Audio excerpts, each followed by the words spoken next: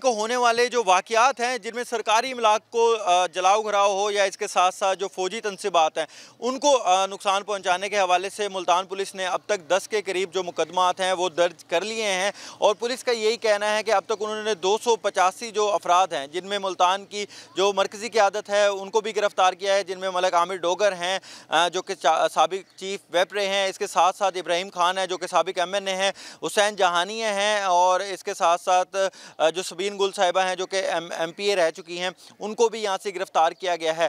दीगर जैसे जैन कुरेशी हैं, वो भी मुकदमात में नामजद तो हैं, लेकिन उनकी गिरफ़्तारी के लिए छापे मारे गए बाबुल कुरेश पे, लेकिन वहाँ पर वो मौजूद नहीं थे। इसके अलावा जावेद अख्तर अंसारी हैं, उनको भी नामजद किया गया।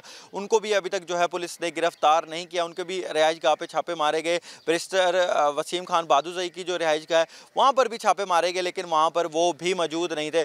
पुलिस अभी तक जो एक नंबर दे रही है, उनके मुताबिक पाँच लोग जो हैं, उनकी लिस्टें तैयार की गई हैं। जो ऐसे वाक़ात में मुलविस थे और अब तक दो सौ पचासी लोगों को जो है वो गिरफ़्तार कर लिया गया है। जबकि यहाँ पर जो दीगर रहनुमा है पी टी आई के, उनका यही कहना था कि उन्होंने चाहे यहाँ पर ज़मानतें भी ले ली थी, लेकिन उसके बावजूद ख़ासतौर पर मलिक आमिर डोगर जो है, उन्होंने ज़मानत ली हुई थी, लेकिन उनको दोबारा जो है पुलिस ने अपनी तहवील में ले लिया वो भी अब जो है वो गिरफ़्तार हैं। जबकि पुलिस का यही कहना था कि जो भी ऐसे अनासर हैं, जिन्होंने जलाओ गराव किया या तनसीबात पर जो हमला हुए, वो उनकी लिस्टें बनाई गई हैं और पाँच सौ को जो है नंबर बताया जा रहा है। उनका यही कहना है कि जो अभी तक गिरफ़्तार हो गए हैं, उनको अदालत के आगे पेश किया गया और 500 लोग जो हैं, उनको मुकम्मल तौर पर गिरफ़्तार किया जाएगा। जो जो इस मामला में, इस जलाओ घहराव में शामिल था, उनको कैफरे किरदार तक पहुँचाया जाएगा और जितने भी लोग इसमें मुलविस थे, जब तक उनको पकड़ा नहीं जाता, तब तक जो पुलिस है, वो ये क्रैकडाउन जारी रखेगी। जी।